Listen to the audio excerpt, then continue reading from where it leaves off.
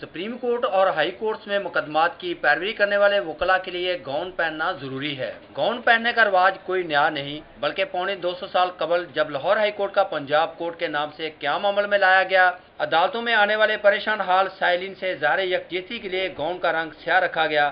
Gown پہنے وکیل کی پیٹھ کے پچھلے حصے میں بنائی گئی چھوٹی سی جیب میں سائل اپنی بساط کے مطابق فیس ڈال دیتا۔ وکیل اس بات سے بے نیاز ہوتا کہ اس کے کلائنٹ نے اس سے کتنی فیس ادا کی۔ بازوؤں پر بنی سلوٹیں وہ قانونی پیچیدگیوں کو ظاہر کرتی ہیں جو وکیل اپنی قانونی مہارت سے عدالت میں حل کرتا۔ یہ تو تھا گاؤن کا تاریخی پس منظر، اور اب تو وقت گزرنے کے ساتھ ساتھ سب کچھ بدل گیا۔ لیکن گاؤن پہننے کا رواج پونے دو سو سال گزر جانے کے باوجود تبدیل نہیں ہو سکا۔ گاؤن کی تاریخی اہمیت جاننے کے لیے عدالتوں میں گاؤن پہن کر آنے والے وکلا سے جاننے کی کوشش کی تو اکثر وکلا اس کے پہننے کی وجوہات سے بے خبر نکلے۔ گاؤن کیوں پہنتے ہیں؟ یہ ایک پرانی ٹریڈیشن چلی آ رہی ہے پرانی ٹریڈیشن تو وہ میرے کو نہ ہی پوچھا چنگا ہے۔ جناب گون ایک سیکنڈ ذرا دو دو منٹ دیا کرو نا دی تیاری ہستے بھی۔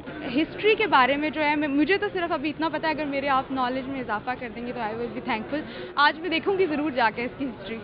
لاہور ہائی کورٹ میں پیش ہونے والے کئی وکلا گون پہننے کی تاریخی اہمیت بارے باخبر نکلے۔ ان کا کہنا تھا کہ گون پہننے کا آغاز انگریز دور میں ہوا لیکن گون پہننے کی اہمیت سے انکار نہیں کیا جا سکتا۔ یہ جو ہمارا گون ہے اس کی جو آپ کو نظر آئیں گی یہاں پہ سٹرائپس بنی ہوئی ہیں۔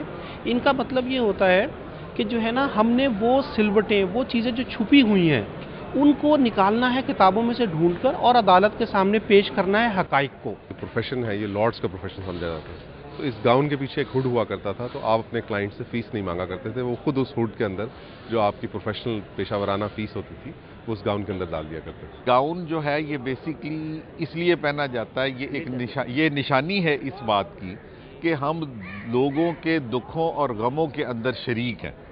وقت گزرنے کے ساتھ ساتھ قوانین تبدیل ہو گیا لیکن گاؤن پہننے کے عظیم مقاصد کے بحث سینئر وکلا آج بھی اعلیٰ عدالتوں میں اسے پہن کر پیش ہوتے ہیں۔ گاؤن پہننے کے مقاصد تو عظیم ہیں، لیکن وقت گزرنے کے ساتھ ساتھ اس کو پہننے والے بھی اس کی اہمیت کو بھول گئے ہیں۔ کیمرہ مین واجد علی کے ساتھ Malik Muhammad Ashraf city forty two Lahore high court.